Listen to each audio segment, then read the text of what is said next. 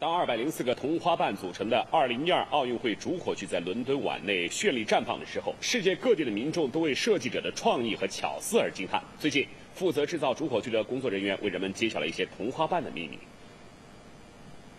伦敦奥运主火炬的制造地点位于英国约克郡北部，由一家名为“第一舞台”的公司担任制造任务。它的设计者是曾在2010年上海世博会中设计蒲公英造型英国馆的托马斯·赫斯维克。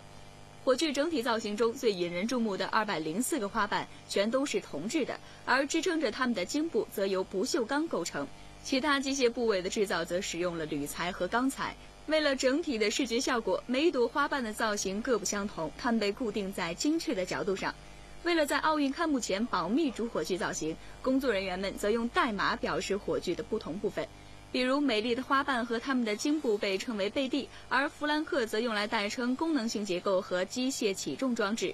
除了令人惊艳的视觉效果，伦敦奥运主火炬制造材料的可循环利用也是它的一大亮点。这是设计师对绿色奥运理念的最好实践。